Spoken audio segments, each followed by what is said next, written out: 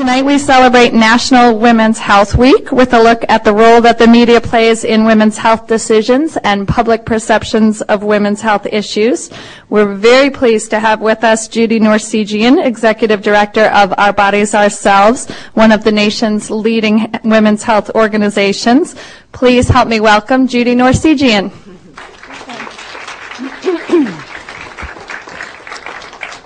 Thank you so much, Monica. I bring greetings from all of us at Our Bodies Ourselves. We're located in the South End, and if you're ever in that area and want to drop by, you're welcome to.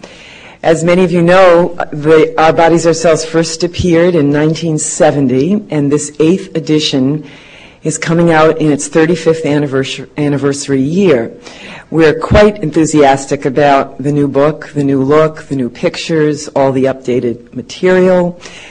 And we're also excited about the many translation adaptations of the book that have been recently completed or are underway in different parts of the world as we speak.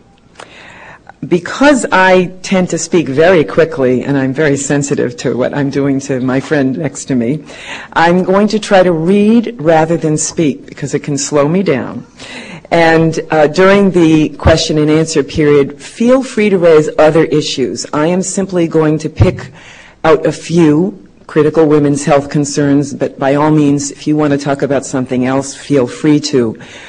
Um, as we watch television, read the newspapers, and listen to the radio, we may not be aware that half of everything reported in the news today originates from a PR firm, a public relations firm and that some of the products and activities that parade before us on the screen are actually product placements paid for by a company rather than the idea of the original script writer. The media's primary source of income is now the more than $100 billion per year spent on advertising. There are also many more so-called grassroots organizations or astroturf groups, as John Stauber has dubbed them. He's the author of something called Toxic Sludge is Good for You. The, these organizations look and sound like public citizen interest groups. They even have grassroots sounding names that use the rhetoric of social change and activism, much like you would see in our books or in materials published by the National Women's Health Network um, a sister organization. They are, however, groups created for corporate clients with a particular marketing agenda that usually does not have a public interest mission at its roots. Women are primary targets of pharmaceutical advertising and need to be especially aware of mass media messages characterized by misleading hype rather than well documented facts. It is one reason why I believe that media literacy is such an important skill to develop even from a very young age. And I did bring with me some sample issues of Teen Voices. It's a national magazine based here in Boston, partly because I think it does a good job of trying to create better media literacy among young girls and teenagers. Today I'd like to point out a few examples of advertising and reporting that have misled the public. You will probably have your own examples to share during our discussion period. Some of these examples underscore how important it is to find out, when possible, the source of the information we get we may not always be able to discern the quality and accuracy of what we read or what we see, but when potential conflicts of interest exist, when the sponsor of a message stands to gain by our using a particular product or service, that is always a reason to be cautious. Now I'm going to talk first about the example of breast implants. One example of a publicity campaign that misled the public concerned breast implants. Around 1992, the breast implant industry and the American Society of Plastic and Reconstructive Surgeons, otherwise known as ASPRS at that time, spent $4 million on a PR campaign that tried to downplay the potential risks of silicone breast implants and to block regulatory action by the FDA that might restrict access to silicone breast implants.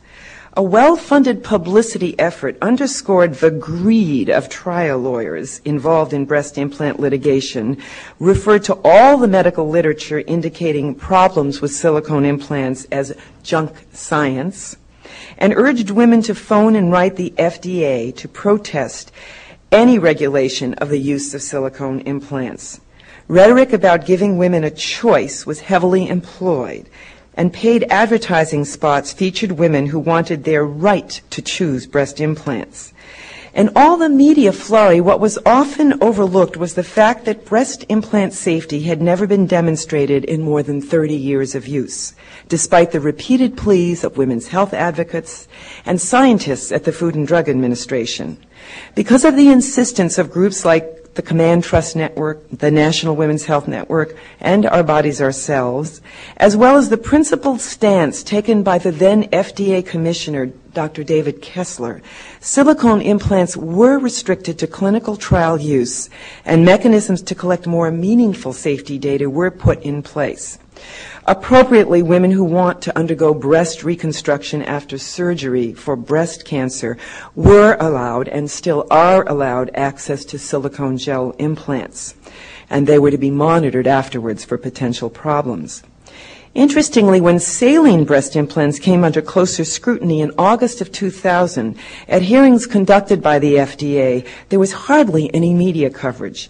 At these hearings, it was noted that more than 190,000 problems from all breast implants had been officially reported to the FDA, including 123 deaths.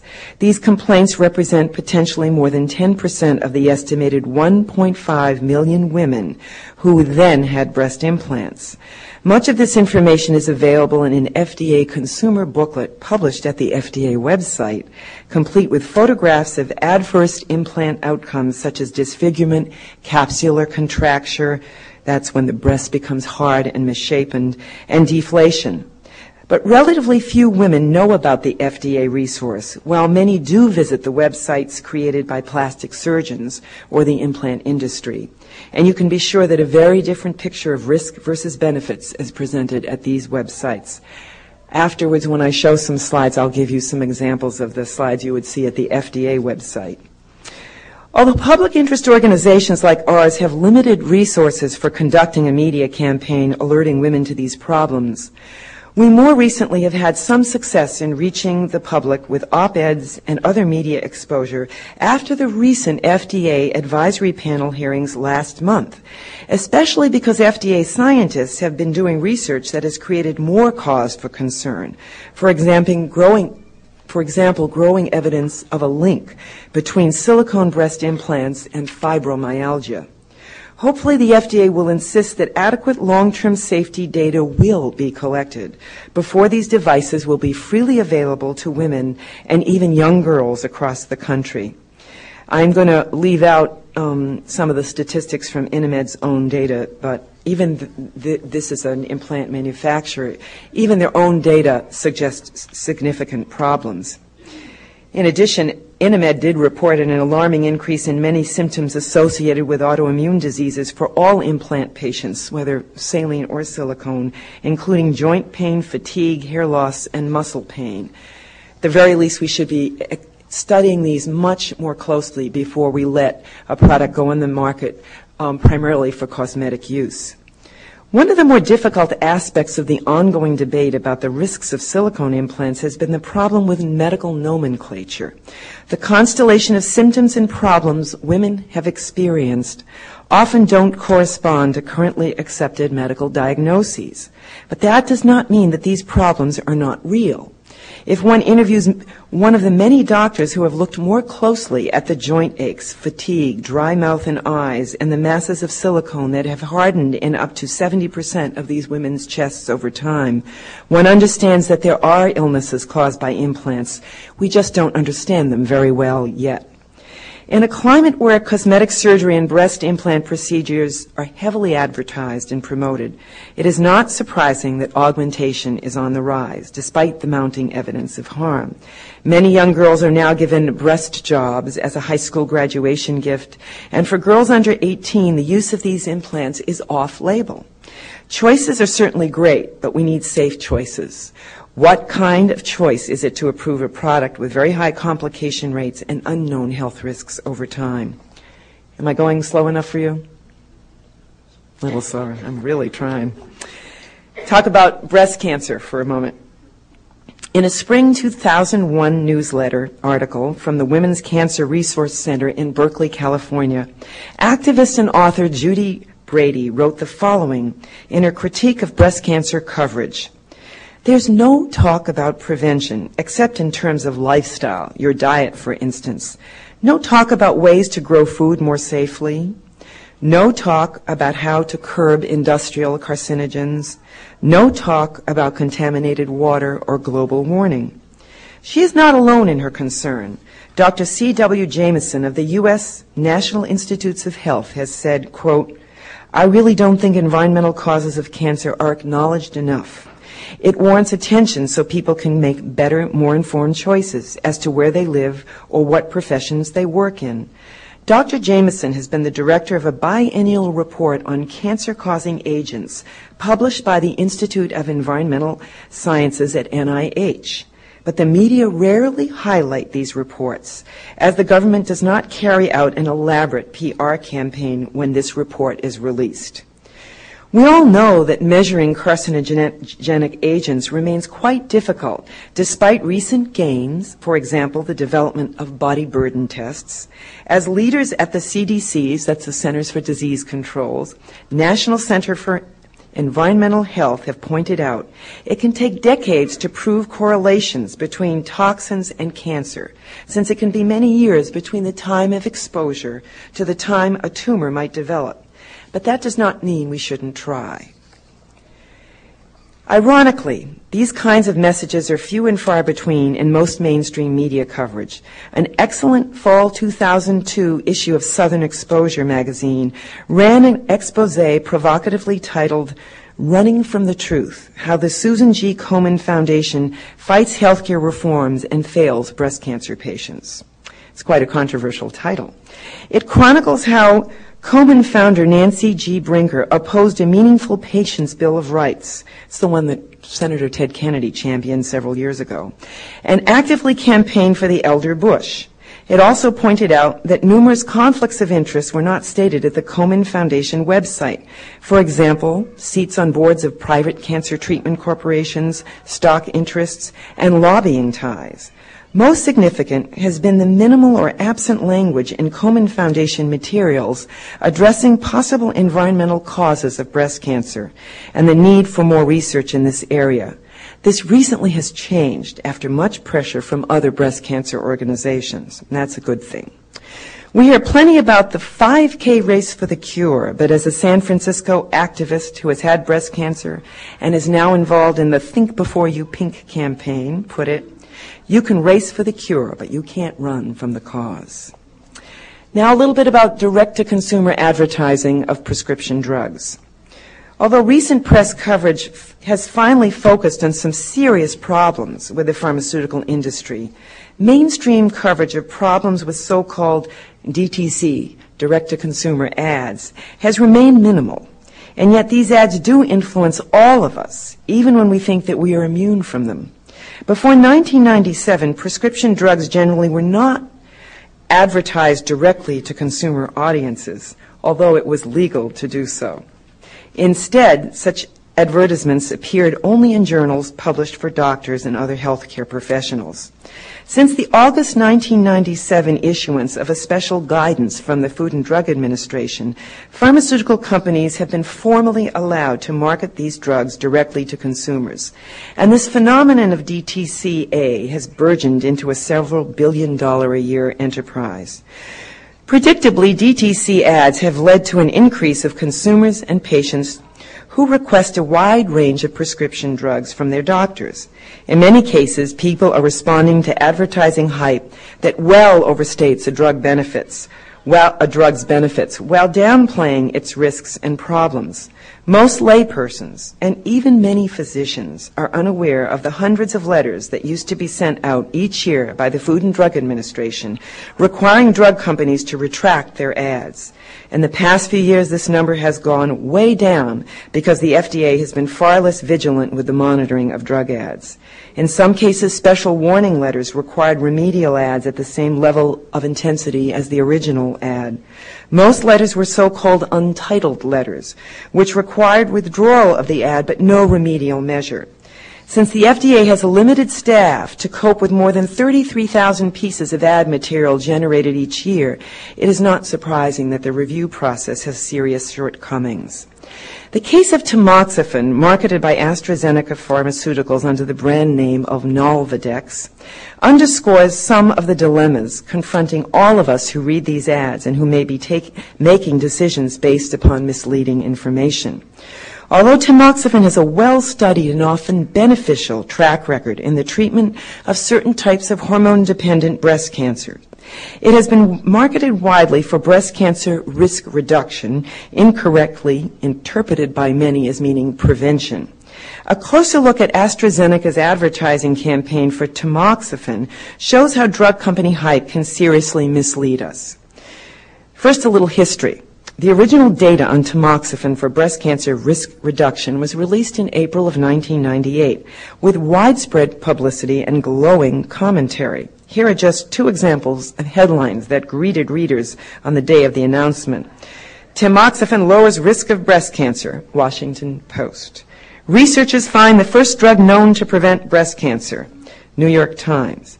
Dr. Alan Lichtman, he was at, the, at that point the head of the American Society of Clinical Oncology, was quoted as saying, and I quote, people will look back at 1998 as the year that was the beginning of the end of breast cancer, end quote. With ongoing analysis of the data, a clearer picture emerged that reduced the number of women likely to benefit from taking tamoxifen for risk reduction of breast cancer. In 1999, the National Cancer Institute quietly published an article entitled Weighing the Risks and Benefits for Tamoxifen Treatment for Preventing Breast Cancer. This article presented a far less positive picture than the one presented in 1998, but this newer information did not garner the media attention of the 1998 findings. Although thanks to the efforts of women's health activists, AstraZeneca was not permitted by the FDA to use the term prevention in its advertising, the company did run misleading ads in women's magazines. These ads, for example, compared relative benefits of the drug with absolute risk, pointing out, for example, a 46% reduction in breast cancer risk along with only a 1 to 2% risk of serious problems. The first is relative risk, the second is absolute. And the problems were things like endometrial cancer or blood clots. These ads did not mention that there was a 252% increased relative risk of endometrial cancer, along with this 46% risk reduction figure. That would be apples and apples. Nor the fact that a woman had only a 1.8% chance of benefiting from the drug at the same time that they had a, only a 1 to 2% risk of developing serious problems. Representing the data in a more complete and accurate manner would, of course, have painted a less rosy picture. After the National Women's Health Network sent the FDA a letter pointing out how these ads violated the DTCA regulations, the FDA did send AstraZeneca one of the few warning letters issued that year and required a retraction of the ad along with remedial advertising. Mind you, there are no financial penalties ever having to be paid here. Well, a group of us in the women's health movement, um, women's groups and one consumer group, responded to these problems with DTC advertising by forming a coalition called uh, the Prevention First Coalition and we support the precautionary principle as the basis of regulatory and health policy and hope to challenge an emerging double standard in the cancer, cancer field, where, for example, tamoxifen is often described as not perfect, but a step on the way to the kind of pill we want. And everyone's dying for a pill for prevention at this moment. But, the, but at the same time, the imperfections and uncertainties inherent in environmental prevention become the basis for dismissing the environmental prevention approach altogether. And I will quote for you something we ascribe to, and that's called the precautionary principle of public health, or at least the um, opening statement to it. And it reads as follows When an activity raises threats of harm to the environment or human health, Precautionary measures should be taken even if some cause and effect relationships are not fully established. Implementing the principle requires exploring alternatives to possibly harmful actions, placing the burden of proof on proponents of an activity rather than on victims or potential victims of the activity, and using democratic processes to carry out and enforce the principle. This is available at the Science and Environmental Health Network, sehn.org, and in my slides you'll see a, um, a little more on that. Now I'm going to talk very briefly about a drug called Sarafem, which is basically Prozac repackaged in a serene pink and lavender capsule. This drug has been approved in the U.S. for treating something called premenstrual dysphoric disorder, PMDD, a poorly defined disorder not recognized by the American Psychiatric Association and only listed in the appendix of the DSM-4. That's the Diagnostic and Statistical Manual. It also has been misleadingly promoted, for example, at an Eli Lilly website ad that suggested women who were irritable or who could not control their mood swings or couldn't zip up their jeans due to premenstrual bloating needed this drug. And of course, ads for Sarafem don't mention that exercise, less caffeine, calcium supplements, and more water are all safer approaches to premenstrual discomforts. They sometimes work, they sometimes don't. Interestingly, U.S. media largely ignored the news during the past year that Eli Lilly was forced to drop PMDD as one of the disorders it had previously listed for this drug in Europe. This followed a finding by the European Drug Regulatory Authority that the condition was not a well-established disease and thus marketing was inappropriate. It is probably worth mentioning that the media are now doing a much better job exposing many of the problems associated with all of the so-called SSRIs, selective serotonin reuptake inhibitors. This is the newer class or one of the recent classes of antidepressant drugs. Um, there have been numerous lawsuits brought by parents against drug companies, particularly be- because of problems with their adolescent children and because of the process of discovery during these trials. Um, clinical trial data that had been originally suppressed by the manufacturers and not available even to the advisory panel at the FDA um, came available, and you probably read some of the articles in the newspapers where panel members were told, had I seen that clinical trial data, I would not have recommended approval. And now there's a black box warning, and um, in the UK, for example, all physicians some years ago were sent a letter not to prescribe um, several of the antidepressants in this class to any adolescents unless there were truly extenuating circumstances. For those who might be interested, by the way, The Truth About the Drug Companies, a book by Dr. Marcia Angell, a former editor of the New England Journal of Medicine, is an ex- excellent expose of what is happening now with the drug industry, not just about advertising and promotion, but about how research priorities are determined, how research is conducted, and how prices are inflated far beyond what is necessary for reaping a reasonable profit. Now a bit about tobacco. Tobacco is worth mentioning, particularly as we see more and more examples of smoking in television and movies today. Promotion of tobacco may be a little more subtle than before, but it is alive and well. Data from the National Health Interview Survey of more than 102 1,600 women showed an abrupt increase in smoking initiation in girls under 18 around 1967 when tobacco advertising introduced specific brands of cigarettes for women. There have been recent activist responses to the promotion of tobacco use in women. For example, the We've Found Our Voice Without Tobacco campaign, which has prepared a short, short PowerPoint presentation critiquing, critiquing tobacco advertising. I'll show you a little of it later. The Legacy Foundation survey um, which was conducted in July, uh, well, actually, it was released in July of 2003, included some very interesting statistics, again, the media did not well report on.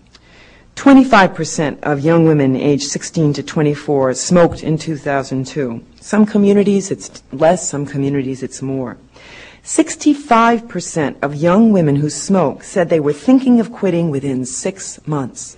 It's not a habit people like after a while. 83% of young women believe they would be able to quit if they wanted to.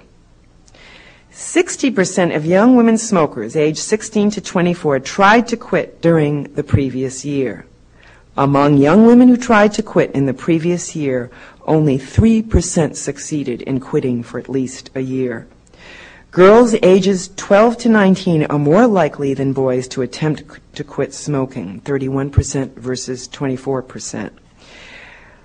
I don't know many young women who are aware of these statistics, and there is ongoing research that is trying to explore why women have a harder time quitting than men do probably some hormonal connection here. But it is being studied. It's an important question. And it's all the more reason we have to look to prevention when it comes to adopting the tobacco habit because women do have a tougher time quitting. Now a moment to reflect upon Viagra. Uh, last year, Meika Loe's book, The Rise of Viagra, How the Little Blue Pill Changed Sex in America, argues that Pfizer has capitalized on male sexual insecurity by promoting the concept of erectile dysfunction, a new category of problem in need of a pricey treatment. She says that widespread use of the drug since 1998 by around 16 million men, young and old, is altering ideas of masculinity to the point where male self-worth is increasingly measured by supercharged sexual performance. I'm going to show you an ad for Viagra in a minute, which demonstrates that it isn't really a drug, and other drugs like Cialis and Levitra, they're not drugs primarily or only for men with erectile dysfunction resulting from um, a problem or a condition. They're really for all men. They're being marketed to young men, to older men, any men. Much current media misleadingly notes that 30 to 50 percent of U.S. men and women have organic sexual dysfunction. This hype has paved the way for a newly perceived need for these drugs among women. A group of activists, the Working Group on a New View of Women's Sexual Problems, has begun a campaign to counter this PR-driven misinformation, beginning with a working paper entitled A New View of Women's Sexual Problems. It's posted at our website and also at the New View website. I'm going to say a few things about um, embryo stem cell research, um, just very few things. If you're interested in talking about it more afterwards, I'd, I'd like to get into it. Um, I want you all to know that our organization strongly supports embryo stem cell research, although we have severe um, qualms and concerns about one small subset of research called somatic cell nuclear transfer, sometimes called embryo cloning, research cloning, therapeutic cloning, which is a misnomer because if there are going to be therapies, they're quite a bit in the distance. And our major concern surrounds the fact that multiple egg extraction, which is already ongoing in IVF clinics in the infertility context, that multiple egg extraction does pose significant known and unknown risks for the many young women who will be asked to donate eggs for this research enterprise. And we think, particularly in the given the the uh, status of this research at this moment and the clear benefits that we have at this moment versus the uh, hypothetical benefits that until we have better data so that we can get true informed consent, we should not be pursuing multiple egg extraction for somatic cell nuclear transfer. There are other ways to get a few eggs, and we can talk about that during the discussion period if you are interested in. Um, I think now is the moment to turn to the slides. I'd like to go through them and leave some time for discussion. Next. Um, I just want to tell you that if any of you are interested, this PowerPoint presentation, I'm happy to email to anyone with these websites on there. Um, there are some very good sources of information, particularly for breast implants from these two sites. One of them, breastimplantinfo.org, has very nice PDF files you can simply download, print, and make copies of um, just so you know that. Next, now I'm going to show you some pictures. This is what you see at the um, implant manufacturer or the plastic surgeon website. You'll see before and after. Next, you will not see um, pictures such as this. This is an example of capsular contracture. Next. Uh, this is an example um, what, what happens after implants are removed because of problems. There's more disfigurement. Next. This is necrosis um, that, that happens in a small percentage of the cases, somewhere around 3 to 6 percent, depending on where you are. Next. And this is what happens when silicone implants um, are leaking, then removed. Um, a woman can be severely deformed. Next. All right, I want to just next say a few things about this issue, which I've mentioned already. I want to summarize that the benefits are overstated, um, risks understated, uh, that we don't get corrective ads enough, and that we don't basically see remedial action. Next. Um, this is a truism that the reason we're seeing all these ads is because advertising works, especially for the blockbuster drugs. Um, and the promotional campaigns do send us all to doctors' offices. Doctors are beleaguered with these um, pleas for particular drugs. Next. This data, um, these data are old, um, from 2002. Lipitor, which is the top selling drug in the world, is now an over $7 billion a year product. And I, am bringing this in here just to show you um, that annual sales figures are quite phenomenal, and we have probably around 20 what we call blockbuster drugs that sell over a billion dollars a year. There are a few of the SSRIs on this list. Um, some of them are uh, familiar to you, um, anti-acid drugs. Uh, the the question about statin drugs, the cholesterol-lowering drugs, and the benefits to women is one that's been reopened recently and I encourage um, any of you want to explore this, particularly if you're women. Um, there's information we can send to you. We'll be posting it at, at our website soon. Um, there was an assumption that the benefits would accrue for women just as they had for men, but there are some differences, and there's actually some evidences in many cases more harm than good done. So you have to be careful when you um, start using statin drugs that you're an appropriate candidate. Next. Um, this is a very, very funny story. I love this story. This shows you what happens when you have the kind of advertising where all the risks and benefits can't be described. So we have this kind of people running through the field and, you know, call your doctor and you'll be happy too. Uh, so there's this story where two boys walk into a pharmacy, pick out a box of Tampax and proceed to the checkout counter and the man says to the older, how old are you? Next. Eight, the boy replied. The man continues, Do you know how these are used? The boy replied, Not exactly, but they aren't for me. They're for him. He's my brother. He's four. We saw on TV that if you use these, you'd be able to swim and ride a bike, and he can't do either one. It's just, um, there are many stories like this. This is one of the funnier ones where people have no idea what's even being advertised. Um, this is the group. Next, I just want to give you an example of who we are. Next. Um, Breast Cancer Action in San Francisco, which has one of the best websites. Um, uh, containing all kinds of wonderful information about breast cancer. Center for Medical Consumers in New York, and these other groups listed here. Several of us are in Massachusetts. And Women in Health Protection in Canada, which is a marvelous organization. Next. Um, these are our goals. Um, that's okay. Um, this is the campaign I mentioned earlier. It was started by Breast Cancer Action, and they have a good deal of, uh, I think, compelling evidence for why many of these um, pink campaigns don't actually do as much good as we think. They're cause-related marketing campaigns that often benefit a company's image, but don't always get the money where you think it's going to. Next. Okay, a little bit about unpaid advertising next, and I, this is one of my favorite examples. This is um, when Parade magazine put model Lauren Hutton on its cover for a piece about beauty tips, and they quoted her saying, Her number one secret is estrogen. It's good for your moods, it's good for your skin. If I had to choose between all my creams and makeup for feeling and looking good, I'd take the estrogen. Next. The article didn't mention that Hutton was a paid spokesperson for Wyeth Ayerst and that she also appeared in their ads. Furthermore, there was no mention that Hutton's claims for estrogen's benefits were not backed up by val- valid scientific evidence. Now, since then, we have the famous Women's Health Initiative. We know that there are serious drawbacks to routine use of estrogens.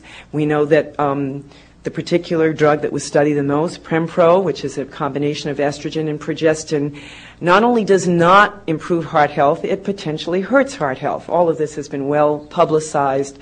But it's interesting that in, in Parade magazine, viewed by millions of people, none of this was disclosed. Next.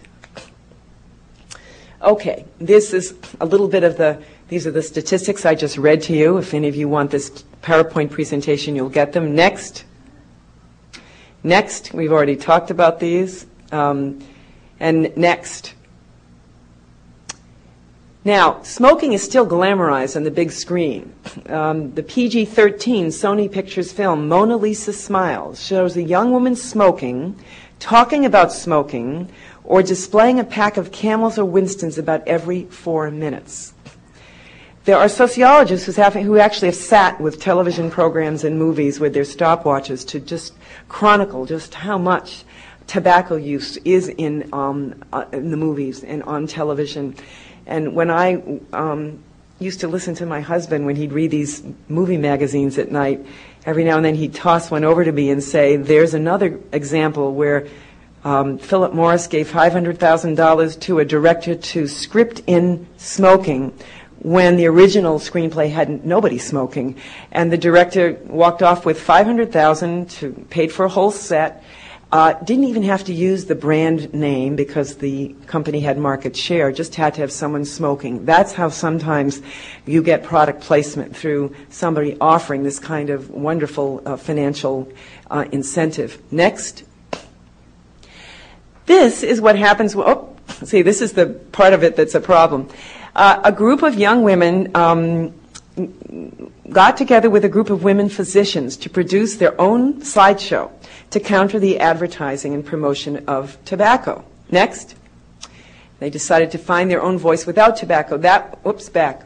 That, um, Philip Morris had a big campaign where they, it was called Find Your Own Voice, and they featured African American women and Latinas and Asian American women. And they had a beautiful picture, in this case, of a white woman, and it said, Look temptation right in the eye, and then make your own decision. Then you have this little warning there. Next, and the girls said, we say smoking is not just, whoops, not just a temptation, it's an addiction. Next. Philip Morris says, never let the goody two shoes get you down. Back. And it's a very attractive African American woman, beautifully made up. Um, and then the young women next got a picture of their own, also an attractive young woman. Um, and can you go back? Well, basically, they say, don't let anyone get you down. You've got two good shoes of your own. Next.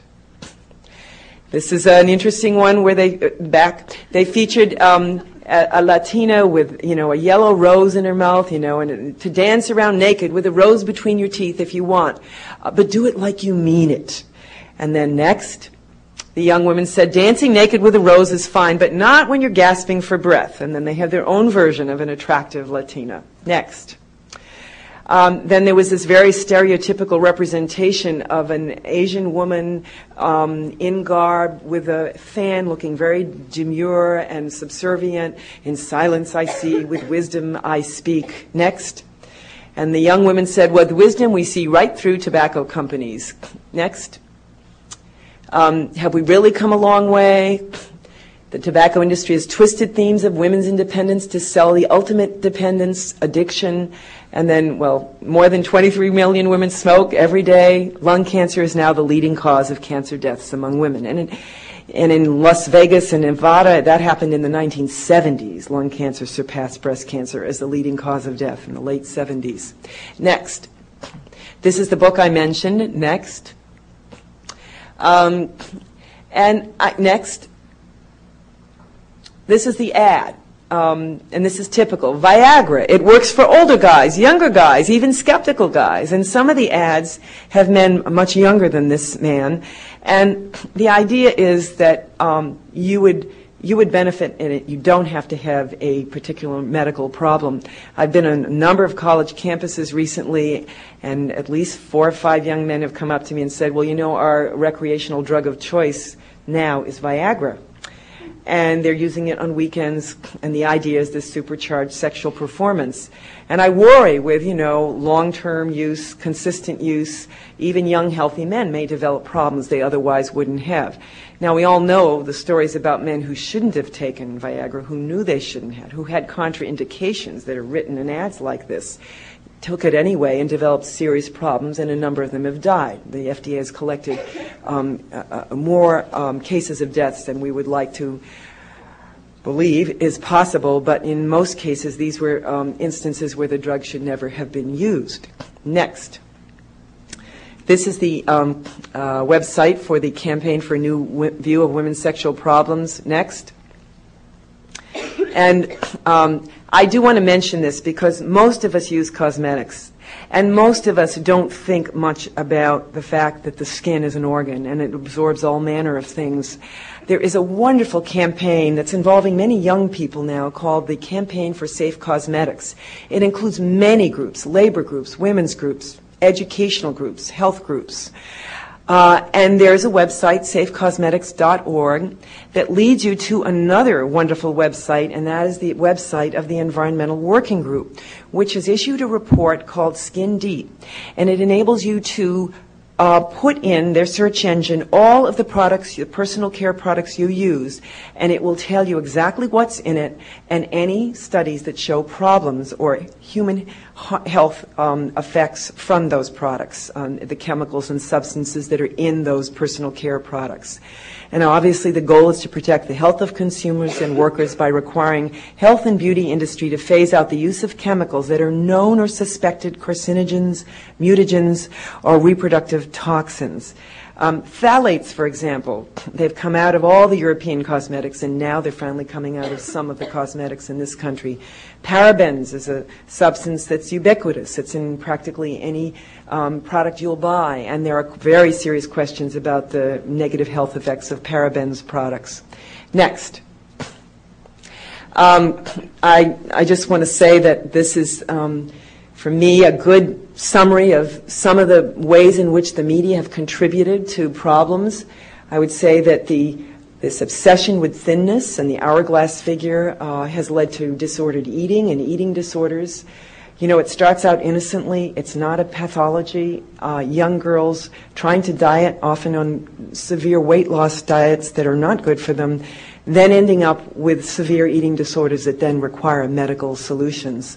Um, and the media are replete with examples of, of encouraging women to engage in dieting and cosmetic surgery um, of all manner. Um, if you see things like, what is it, the Makeover, Extreme Makeover, The Swan, there's about four or five of these programs out there that very cavalierly show you before and after, and you often don't get a good sense of um, the terrible things that can happen. The misuse of prescription drugs, a premature faith in genetic fixes. I think the media are responsible for much of the hype there. And the rising rates of tobacco use in young women, and the rising rates of risky cosmetic surgery procedures. I might add to this in my own assessment that we've had. Um, just do the next one. I'm going to um, leave it there for a minute. Um, my own concern about the medicalization of childbirth and the absence of evidence-based practice in much of obstetrics and the absence of choices for women who might like to use midwives, have a birth in a birth center, or even at home. We have good studies that show these choices are safe choices, but they're not available to many women because of either the insurance industry or medical opposition. And what's happened as a result of the kind of media representation of birth as this scary, awful, painful thing women are choosing elective cesareans. This is a surgical delivery um, because they are more afraid of birth than they are of a surgical procedure. And if you look at what we know, that doesn't make sense rationally, but that is what comes of this kind of impression that you get. Now I'm going to close with some wonderful slides of pictures of the foreign language adaptations of Our Bodies, Ourselves.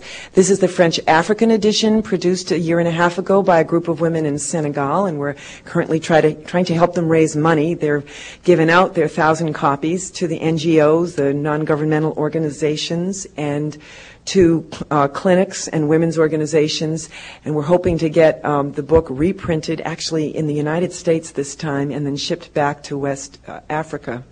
Next. This is the Chinese edition, which hopefully will be adapted. This is more of a direct translation. They did have problems with the Chinese censors, but they managed cleverly to get some of the material into the book anyway. Next. This is the Serbian edition, and that picture is taken from their first ever Take Back the Night March that was held in Belgrade. Next. This is the old Arabic um, inspired version of the book, and I'm happy to report that we are, the, at the moment, supporting a group of women in Lebanon, in Jordan, uh, Moroccan women and possibly women from Egypt, all coordinated by a group of Palestinian women in East Jerusalem who will produce a real adaptation of this new Our Bodies Ourselves that just came out a month ago or a few weeks ago. Um, and they are very excited about this project, and we are now um, seeking funding for them in the United States there's a possibility they'll get support from the Hariri Foundation. Uh, I do hope this project um, gets off the ground. The women involved are extremely excited and they're extremely talented, and they come from both the social and the physical and biological sciences. Next. This is the Armenian edition, which hopefully will go into a new printing and an updated, in an updated version next year. Because I'm Armenian, I was able to raise funds from some Armenian individuals in the United States, and it's um, been very well received in that country. Next. This is the Bulgarian edition. Next. This is the old Russian edition, out of print, and we have made contact with a wonderful group, an interdisciplinary group in St. Petersburg, Russia, that has asked us to help them with fundraising so they can produce a new Russian edition based on our new English edition. Next. This is a the Romanian edition. Um, next.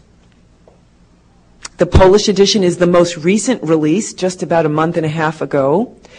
And they also have a whole radio program that goes with the book. And they have rock stars and prominent, um, um, you know, singers who've been doing sound spots and, you know, public service announcements to promote the messages that are in the book, things like safer sex practices. Next. This is the old Hebrew edition, and again, there's a group of women in Israel right now who are trying to get a new edition off the ground. Next. This is the Thai edition. Next. This is from India, Telugu. Next. This is the old Greek edition, and it's another um, language that we hope will be updated. Um, this is quite old. It's from the 70s, in fact. Next. This is the Japanese edition. Next. And this is the Spanish cultural adaptation, uh, Nuestros Cuerpos, Nuestras Vidas, which I happen to have with me here. If any of you are working in a Latino community, would like to take it with you. And we're hoping that in the next year or two, we'll create a collaboration with one of the Centers for Excellence in Hispanic Health, possibly Albert Einstein in Montefiore in the Bronx, possibly other institutions, so that this can be updated and reissued um, by the year 2006 or 7. Next. This is the cover of the new book, and we have been uh, very excited to see how Respo- how response has been so positive up to now. We've been getting many calls, lots of radio interest, and a couple of tours, and the big one coming up next week. Uh, where the the um, segment that was done for the early show on April 28th is available as a video stream at the CBS News website if you want to go see it. And there are uh, also many other interviews and uh, articles about the book that have come out in places like the Star Ledger, the Seattle Post Intelligencer, the Seattle Times, coming out in other major newspapers as we are planning events in the next few weeks. So now it's your turn, but just remember you have to wait for the microphone before you say anything. So raise your hand and Monica will find you. And maybe we can get some light in here so she can even see. Great. Well, a little bit better. Anyone have a comment or a question? And I'm really sorry that I spoke so fast.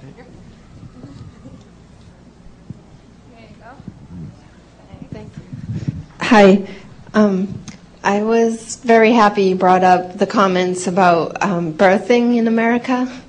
And I think it's one of the biggest problems we have is the way um, the way we think about it and the way it's handled. Every single night, practically, there's another article on the news, on TV, about, oh, this person had an accidental birth in their home or in their car, and it's like this great big deal that they have to cover when it's like if it's that easy, you know? I mean, what can we do about it? How can we change? Well, that's one of the things we're working on right now. We, we, in collaboration with some other groups whose sole focus is childbirth, pregnancy. Um, Maternity Center Association in New York City has begun a very important initiative to try to make maternity care more evidence based than it is right now.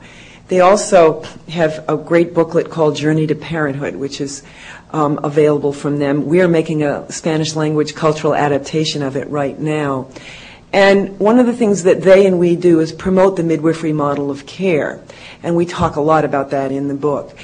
There, it's one thing to have an unplanned home birth or, you know, where sometimes things do go wrong. There's no sense of uh, uh watching for problems. If you have a midwife and you're monitoring carefully, there are very few true three, four, five minutes place most of the time. Um, I know that sometimes things don't go. well. Sometimes the pain does get beyond the point that someone can stand. Midwives can help with an epidural then if that's what you want and need. But very often, midwives help you get past those tough moments. Um, sometimes you can just get into a tub of water, or if you're lucky to have a jacuzzi, you know, you put the jets on your back for back labor and the pain goes away. We've seen it over and over again. And I think that people don't understand that there, there can be uh, a healthy, safe, more low-tech approach to birth that also is accompanied by enormous satisfaction. MCA did a fabulous survey called Listening to Mothers. It's posted at their website. And the outcome from women making all the choices that they have been is not that women are happier or more satisfied. That's the sad part um, women are not happier or more satisfied having made the choices that they did at times. And, and, in many cases, they were unnecessary medical interventions because of initial decisions. One of the things we, I've always said is that, you know, if you really would like to keep medical interventions um, to a minimum, sometimes they're absolutely needed, uh, starting out with a midwife might be your best guarantee for that. I had a midwife. In fact, I even had a home birth, and it allowed me to control the environment better. Mm-hmm. Wait a minute, wait a minute. Hold on.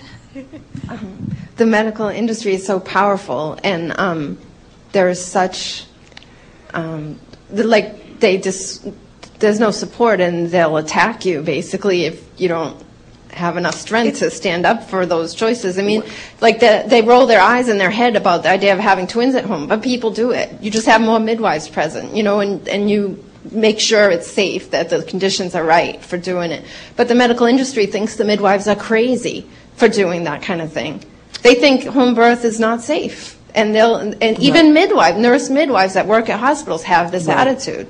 Well having twins at home is more risky and, and, women who've thought about it some have decided to go ahead many have decided not. Um, there are circumstances that make a home birth more risky than if you started in the hospital. But one of the things you have to understand is that there's there's going to be no magic solution here. And yes, all of the forces are out there. Even within medicine, there have been some very good studies showing that routine episiotomies make no sense. They not only don't do good, they can do harm. We just had another study come out last week about this, but the practice continues. It's still at 30 something percent nationally, and it's up to 70 percent in some settings, and that shouldn't be the case. And when Dr. Michael Klein went around this country doing grand rounds presenting the results of his very well designed trial and study, he found enormous resistance among his colleagues. So change comes slowly. But there are people in the field trying to get us moving more in an evidence based direction. So we just got to keep working at it. Yes. Hi. Um, I would like to ask you to reiterate your entire set of points about um, possibly suspect so called grassroots organizations, what you said they were doing, and so forth. Um, uh, there are many groups, and I can't think of their names in my head. There's one that's um, that was formed by the petrochemical industry to debunk the idea that global warming is a problem. And they got scientists who are paid by the petrochemical industry to come forward and say uh, global warming is all a scare tactic. There's no such thing. And but the name of the organization, you know, I forget what it is, the Citizens Group for something or other. It it sounded like it was a grassroots organization like the National Women's Health Network. But it really wasn't. It was really an entity created by the industry with a specific agenda to make people think global warming is not a problem. Um, there are some groups that have received a lot of money from the pharmaceutical industry. Um, I can give you an example, actually. The National Alliance for the Mentally Ill, I'm sure they do a lot of wonderful work.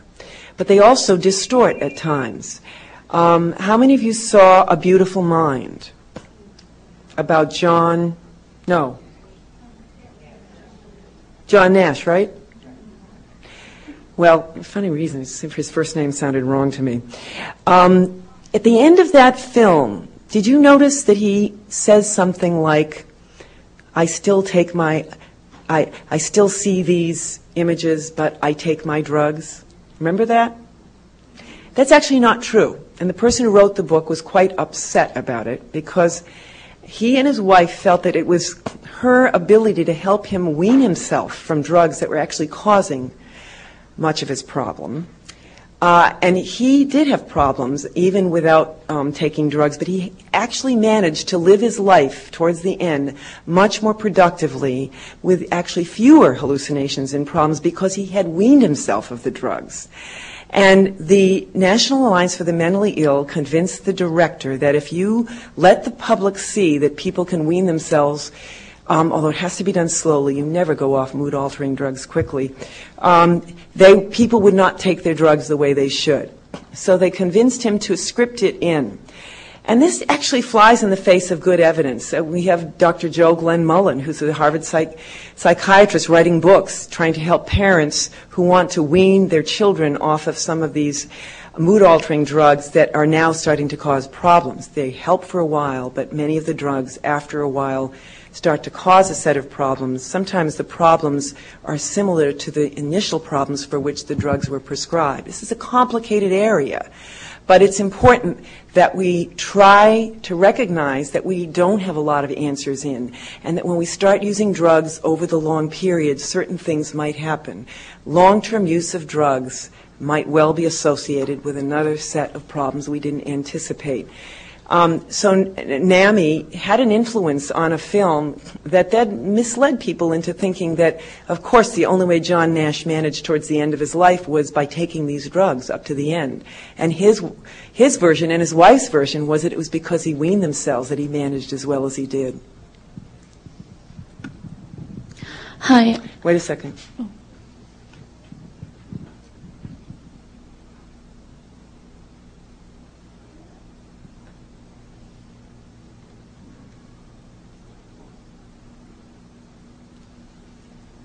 I'm so sorry, I'm forgetting.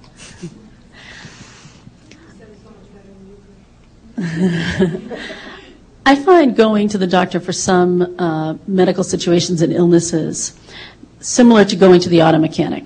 Uh, I don't know anything about cars either.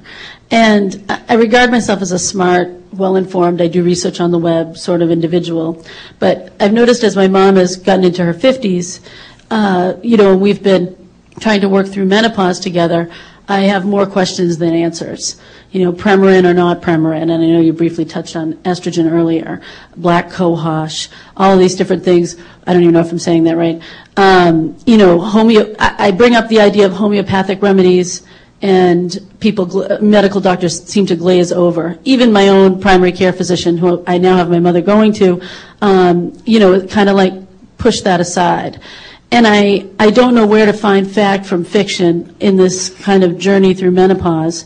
And I, I just don't even know how to be helpful or active for her. It's really frustrating. So I wondered if you could speak to that at all and maybe point us in some directions of places that we could really trust mm-hmm. to get answers and information. And I, related to that, I also wonder how much, and you're going to kill me saying this, but how much of menopause I mean, menopause is a natural thing that women go through. I know it's hell. Well, I don't know it's hell like some women here know that it's hell. But how much of it are we masking that we need to go through? And are there things that we're medicating that are going to end up hurting her? I'll leave it at that. Well, you've asked a lot, and I'll try to be slower. Um, first of all, it is a good idea to try to inform yourself about a problem or an issue before you go to your practitioner if only because under managed care systems, Our doctors, our nurses, our nurse practitioners, our midwives, they're all under time constraints and they can't spend that much time with us. So when you come in a little bit better informed, the meeting, the exchange, the 15, 20 minutes you sometimes get is more productive. Now, how to tell if the information is good or not, as I said earlier, sometimes knowing the source. We actually have a guide at our website and in our book about using the internet to get good health information. There are some very good websites in the midst of all the junk, and so you can find that out. Government has some excellent websites, and they make information available in lay language, consumer friendly. It's what we've tried to do with our website and with our book, and it's something we've done for decades, and we've gotten pretty good at it to make things clear. Sometimes there isn't a clear answer. Very often, when it comes to taking hormones, uh, it isn't so crystal clear what you should do. Now, most women go through menopause without significant problems, but there's a good percentage, maybe it's 20, 30%, that have severe side effects and problems things like sweats and hot flashes that are so intense and they come 20 times a day. And even if you, wear layered clothing and bring along your fan, it just doesn't cut it. And so for women who are having really extreme reactions, taking estrogen might make very good sense. And even though we have this data that really tell us don't use it for heart health benefits, uh, the, the, the, risks are not so enormous that one should live in misery if nothing else works. Now, sometimes other things work. And you can see in our website and at various websites um, a, a, number of products that are estrogen like. Herbs, for example, in their effect on the body, and they seem to work. That doesn't mean that they're um, a whole lot safer. We have not studied them for safety. Um, they might, in the long run, have some of the same side effects and problems. But the point is, if you're miserable having hot flashes, you ought to do something about it. Um, you know, and if you're not, there's no need necessarily to pursue taking hormones. Now, the other reason women get prescribed estrogen uh, is, uh, has to do with osteoporosis and the loss of bone density. And there are some women who will rapidly lose bone density at the time of menopause. It's something worth watching. However, the um, promotion of drugs like Fosamax, for example, um, has now been accompanied by a growing body of evidence that suggests yes, there will be bone will be rebuilt, but it might be bone that is more brittle and more likely to fracture. So just because you have more bone density doesn't mean it's stronger bone that you've produced. These are questions being looked at now. And there are side effects and problems. So uh, whether it's estrogen, whether, and, if you're taking estrogen for bone density, you can't ever stop. So then you have to weigh the increased risk of breast cancer, um, the increased, small increased risk of some heart problems. It's, it's, it's got to be an individual decision. This is not an easy thing where one shoe, one size fits all. Uh, there, I think, are some things that women can do that make a difference that don't cost anything. One of them is to make sure you're drinking enough water, getting enough exercise, eating well. I've heard more than a few women come up to me and say, I started to have sweet potatoes three times a week, and they have progestin-like substances in them, particularly, you know, certain kind of yams. And within a few weeks, my hot flashes subsided. They weren't so bad. So you know, they got that from someone. I had hot flashes for a while. They weren't intense, but I said, oh, let me try it out. You know, I'm always interested in experimenting. And I had that experience too. Not that they were so terrible, but they practically went away. So what is it, you know, about eating, you know, you know, sweet potatoes three times a week? Um, and, oh, there's some literature on this, but it doesn't work for everyone. It only works for some people. So there are many things like this on the internet. They're worth trying you know, psoriasis plagues many people. I discovered from an audience once that someone had taken omega 3 fats, flaxseed oil, um, and had really supplemented the diet substantially. And her psoriasis went away after 30 years of using tar like substances and drugs. And lo and behold, a friend of mine tried it, disappeared. Taking flaxseed oil in morning and night, I don't know, a tablespoon, within a few weeks, psoriasis went away. And then I kept asking people, sure enough, it was in the sort of lore. People knew it, and then I went to the internet, I found it there. It's on the internet, but I would never have found out about it, nor would the people who'd gone to dermatologists who prescribed conventional remedies known about it. And flaxseed oil is something we know that won't likely be harmful. I mean, it's a substance found in products um, that we eat naturally. So that's the, an example of the kind of thing where you can find out something that would benefit, um, possibly benefit you, probably won't harm you. I would say if you look at the prevailing diet of young women right now, many young women don't get enough omega 3 fats in their diet. These substances are essential for prostaglandin production, for reproductive health functioning. And I think it really is important if there are young women in our lives that we look, we have them look at their diets to make sure they are getting omega-3 fats. There's this obsession with fat right now so that young women, if they're not really thinking about diet and food in a really thoughtful, careful way, are trying to eliminate all fat from their diet. Good fats and bad fats, all fats. And you need fats. So we've got a kind of disconnect here uh, in our culture. We've got to really change that. Yes. I um, I wonder. Often the pharmaceutical companies will tell you that the reason why the prices have gone up is because of the need for funds for research, and yet the U.S. government provides so much of the funds for the research. And um, I was wondering if you've done any studies on correlation between the price of pharmaceuticals since the uh, ban on advertising was lifted.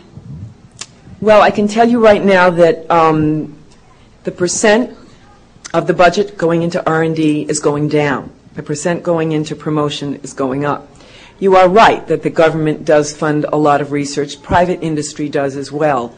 Um, one of the problems is that many of them are Me Too drugs. They're not really innovative drugs. It's really hard to find and create and develop a truly innovative drug.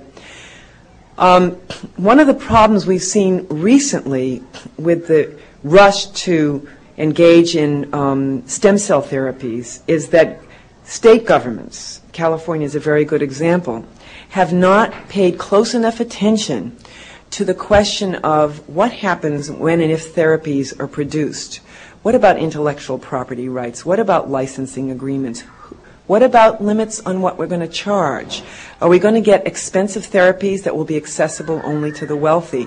Prop 71, the famous Prop 71 in California, the $3 billion initiative, which if you add in the interest is a $6 billion initiative, was riddled with this kind of problem. And after the fact, members of the California legislature are trying to introduce new bills that will correct some egregious shortcomings. Right now, the state of Washington is trying to um, deal with a $350 million bill. And I have with me um, a guest columnist, um, Sean O'Connor, who teaches at the University of Washington.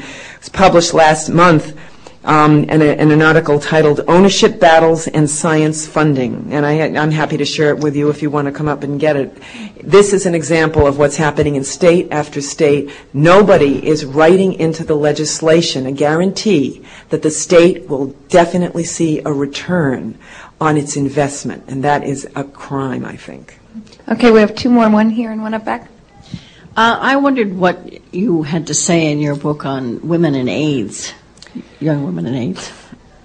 Well, there's that's a whole chapter, so I can't really summarize it. We we talk a lot about prevention, about the fact that mostly women of color um, are have the highest rates of HIV/AIDS. Uh, access to the antiretroviral viral drugs are um, is limited in many communities, less so here, but more so in other countries. We try to take a somewhat global view of, of issues such as HIV AIDS, which is devastating many parts of Africa, even Asia. Um, and in some countries, it's still denied as a problem. Uh, obviously, prevention would be the best thing. With the abstinence only curriculum that has been introduced into this country by our illustrious federal government, and now we've had a chance to study the impact of abstinence only education. What we're seeing is that the rates of STIs are rising because young people think that condoms are of absolutely no use, and in fact, they might increase your risk of developing HIV AIDS. There's a lot of poorly created poorly defined material, misinformation that comes through these programs, and, and individuals that try to present an alternative. For example, SIECUS, the Sex Information and Education Council of the U.S., has wonderful curricula and wonderful materials based on, um, on their website. They have resource people. And if teachers and if school systems engage in providing more balanced information, they risk losing their federal funding. So we have, I think that that is actually a more serious threat to STI, sexually transmissible infections, HIV, AIDS, um, than anything else right now. That we're we're producing a generation of young people who are so misinformed. I was at two medical schools recently where the faculty are telling me they are having to re-educate incoming medical students about HIV, AIDS, and prevention, the role of barrier methods, because the students have been through this kind of abstinence-only education or miseducation, if, to, to kind of define it more accurately. Okay, we'll take one more. Hi, I wondered if you had any comments on um, nursing issues, breastfeeding, and the role of the media and the formula lobby. Um, if your organization follows any sort of legislation at the national level or local level uh, that supports nursing moms. Uh, yes, we are quite committed to promoting breastfeeding and to giving women accurate information. As you might know, the World Health Organization has instituted a baby friendly hospital um, approach, and only a few dozen hospitals in this whole country qualify as baby friendly. One of them is here, it's the Boston Medical Center. And the reason the breastfeeding rates are so high at the Boston Medical Center is because a pediatrician who came into the hospital and saw abysmally low breastfeeding rates and was told our women aren't interested in breastfeeding, responded with, well, has anyone really shared with women the benefits of breastfeeding? Have have women really been well informed here? So she embarked upon a campaign, educated the CEO, um, practitioners, people who cleaned the floors, who did the laundry, who brought the food into rooms, um, anybody who set foot in that hospital uh, was educated. And wasn't long before everybody became a convert. And now they're seeing lower rates of um, infection among the infants, uh, respiratory distress. They're seeing babies, fewer babies in the neonatal intensive care unit. They're seeing babies that are healthier, and mothers are proud of their ability to feed their babies. Now, Boston Medical Center serves mostly low income women, Latinas, African American women. Um, they've done a wonderful film about what they've accomplished. Of course, they had to stop giving out free formula samples because that's an inappropriate mis- mixed message. So, whatever thousands of dollars a year they were getting from the industry, they gave that up, but they're benefiting because of healthier babies and healthier families. Now, you all know there is a national breastfeeding campaign. It has really catchy ads. Some of the ads that were created by the Ad Council of America didn't get to, to be aired because of opposition from the uh, formula industry. They even went so far as to approach the president and the executive director of the American Academy of Pediatrics to get a letter sent to the then Secretary of Health and Human Health, Health and Human Services, Tommy Thompson, asking him to slow down the process of instituting this breastfeeding campaign um, because the Ad Council had figured out through all of their focus groups that the effective way to do this is not just to say breastfeeding is nice, it's good for you, it's good for your baby, but to tell women some of the bad things that happen when you don't breastfeed. They said the only way to motivate breastfeeding effectively is to use a somewhat negative campaign. Now, we've done that with other things. We have other campaigns where we've promoted the idea of if you don't do this, something bad will happen uh, your babies are more likely to have this problem or that problem. So the interesting thing with this effort is that after this letter was written, the two co-chairs of the Breastfeeding Practice Committee of the American Academy of Pediatrics were not very happy because they had been working with the National Breastfeeding Campaign and they liked the spots. They liked all of these um, short 30 and 60 second, promotional pieces. And so they wrote their own letter to Tommy Thompson and said, we don't agree with what you just heard from our our illustrious president and executive director, and we're the real public policy setting. I, I know some of you are aware that breastfeeding rates were on the rise and then they started to dip again. They dipped last year. That is absolutely absurd. If anything, we should be promoting breastfeeding. And if you live in an area where anybody ever gets chastised for breastfeeding in public or a woman is asked to leave a place, um, you should you should speak up on behalf of that woman. In Europe, nothing like this would ever happen. Breastfeeding is commonplace. It's supported. But we still have a ways to go in the United States. There are still examples of women getting arrested for breastfeeding in this country. I guess that's the last one. If you want to get a book, we've got books here, and I'm happy to inscribe them as a Mother's Day gift or a graduation present. It is a, a mother load of information, and we hope that you use it well. And come to our website, Companion. It, it amplifies what's in the book. We have lots of good material there, and use it frequently. I think you'll find it helpful. Thanks for coming.